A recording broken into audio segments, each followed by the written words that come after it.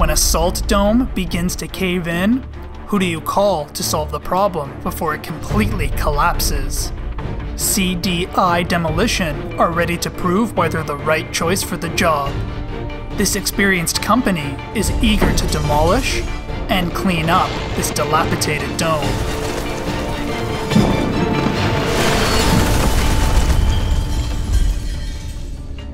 So Chandros uh, reached out to us about a week ago about a salt dome that was commissioned uh, unsafe to enter.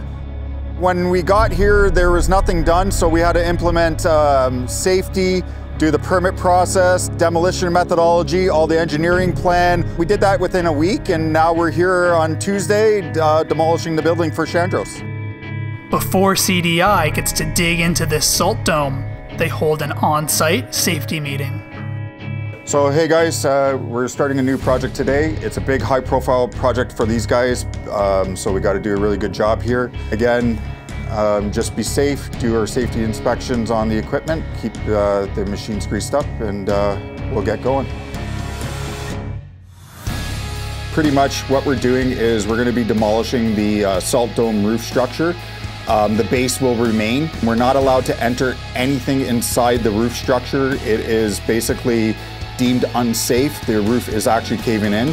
So what we got to do is got to work from the outside in. Everybody just be safe, wear your proper PPE all day, and uh, we'll be uh, ready to work, boys. Based on our sequence plan, what we're going to do is we're going to start crunching the machine counterclockwise. We're going to work our way around. Once the building is encapsulated on itself, we're going to use the entrance way.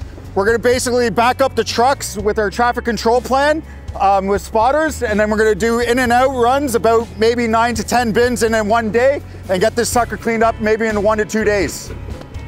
The game plan is set, and safety procedures are in effect.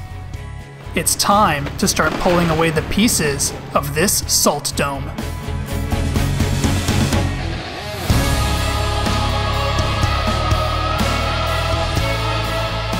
We're using a rotating demolition barrel grapple. When you're using a demolition barrel grapple, a lot of people comment that, you know, it's like an extension of your hand, which it really is.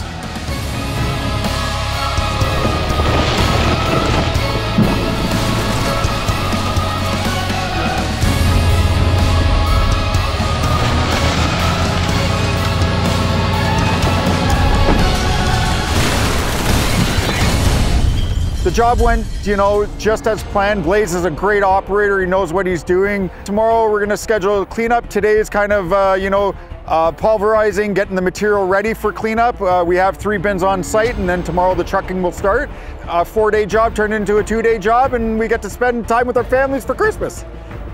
Now that all the material is on the ground, CDI can clean up this mess. We were in Salt Dome yesterday. We had all walls and a roof above us, and today it's all down, and now we're doing cleanup. Well, I love watching it come down. As much as it hard work takes to come up, it takes a lot of hard work to come down, lots of planning. You got to do it right. Very fun working with family. It's a family-run company, and it's great to be on for the ride. So this job went fantastic. Um, we completed the job in less than two days and it went awesome. The last one for the year, so we're bringing in 2024 with a great new beginning. What a great way to end the year with this project. Thank you guys for everything. This one is done.